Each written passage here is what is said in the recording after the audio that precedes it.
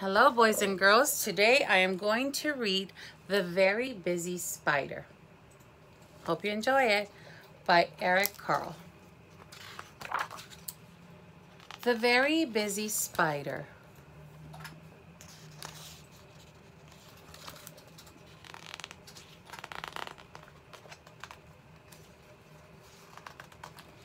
Early one morning, the wind blew a spider across the field.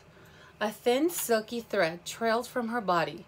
The spider landed on a fence post near a farmyard and began to spin a web with her silky thread.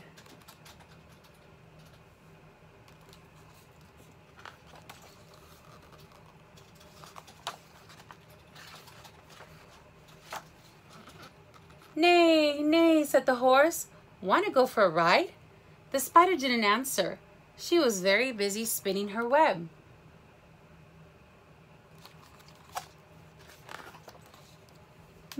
Moo, said the cow.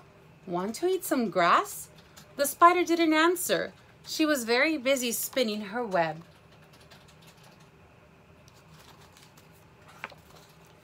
Baa, baa, bleated the sheep. Want to run in the meadow? The spider didn't answer. She was very busy spinning her web.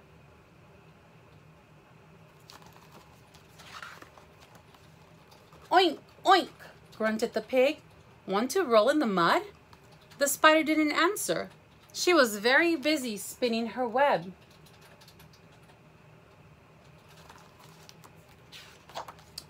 Woof, woof, barked the dog.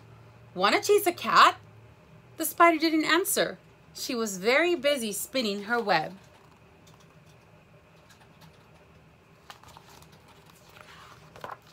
Meow, meow, cried the cat. Want to take a nap?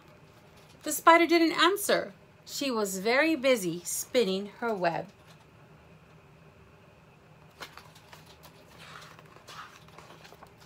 Quack, quack, called the duck. Want to go for a swim? The spider didn't answer. She had now finished her web.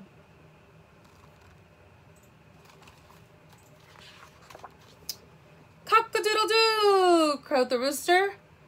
Want to catch a pesky fly?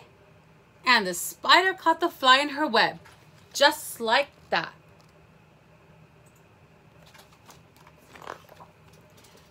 Whoo, whoo, asked the owl. Who built this beautiful web?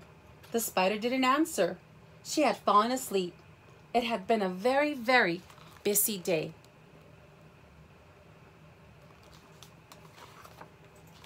The end. Hope you enjoyed the story. See you soon. Bye.